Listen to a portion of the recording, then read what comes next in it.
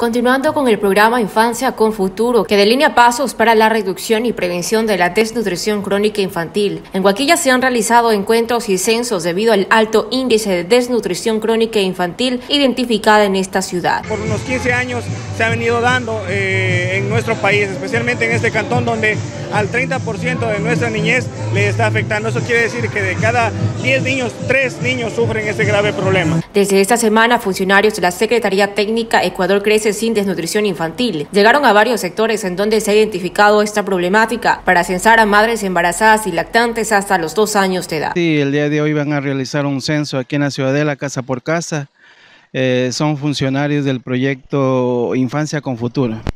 El censo va, está destinado a madres embarazadas y niños de 0 a 2 años de edad. El presidente del sector, por su parte, se mostró agradecido con los funcionarios de esta Secretaría del Gobierno Nacional por trabajar en la identificación principalmente de familias que padecen de esta problemática y posterior brindarles ayuda. De lo que tengo conocimiento, este censo va a ser a nivel de la parroquia Unión Lojana y empezaron aquí en nuestra ciudadela. Sí, exactamente, que los vecinos se encuentren en sus domicilios para que los señores censadores puedan puedan llegar a, sus casas y les den toda la información que ellos requieren. En los próximos días el censo continuará por barrios periféricos de esta ciudad. Desde el cantón Guaquillas, Tatiana Saltos, Fusión Informativa.